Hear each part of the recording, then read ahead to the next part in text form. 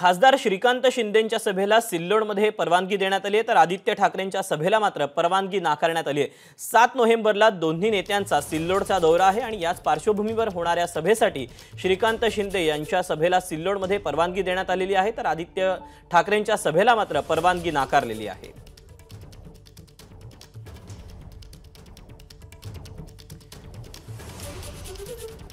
राज्याचे कृषी मंत्री अब्दुल सत्तार यांचा हा मतदारसंघ आहे सिल्लोड.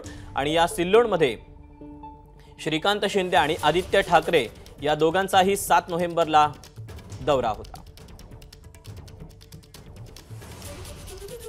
आपण याबद्दलचे अपडेट जाणून घ्या तर कृष्णा केंडे आपल्यासोबत आहे. कृष्णा एकीकडे आपण पाहिलं तर श्रीकांत शिंदे यांच्या सभेला परवानगी देण्यात आली आहे.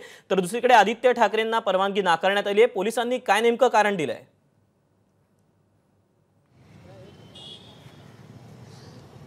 येत्या सात तारखेला दोनही नेते सिल्लोडमध्ये सभा घेणार आहेत. त्यातले जे श्रीकांत शिंदे आहेत त्यांची जिल्हा परिषद शाळेच्या मैदानावरती सभा होणार आहे. तशा प्रकारची परवानगी पोलिसांकडे अब्दुल सत्तार यांच्याकडनं मागण्यात आलेली होती. त्यांना ती परवानगी मिळाली.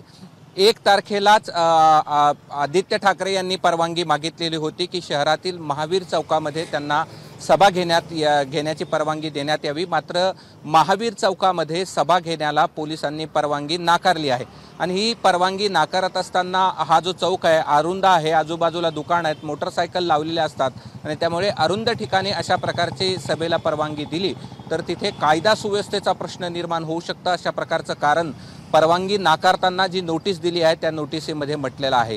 त्यामुळे आता त्यांना दोन पर्यायी जागा देखील पोलिसांनी दिलेल्या आहेत. एक प्रियदर्शनी चौक आणि त्याचबरोबर डॉक्टर बाबासाहेब आंबेडकर चौक या दोन ठिकाणची एन ओ सी तुम्ही नगरपालिकेकडनं आणा. त्या ठिकाणी आम्ही तुम्हाला सभा घ्यायला परवानगी देऊ. अशा प्रकारचं देखील नोटिसीमध्ये म्हटलंय. मात्र ज्या ठिकाणी आदित्य ठाकरे यांनी सभेची परवानगी मागितली होती तिथली परवानगी मात्र औरंगाबाद ग्रामीण पोलिसांनी नाकारलेली आहे. आता त्यामुळे ही पर्यायी सभांची जागा दिली जाते की आणखी कुठे या ठिकाणी परवानगी मागितली जाते हे पाहणं महत्त्वाचं असणार आहे. मात्र ज्या ठिकाणी आदित्य ठाकरे यांनी सभेसाठी परवानगी मागितली होती ती मात्र पोलिसांनी स्पष्ट नाकारलेली आहे.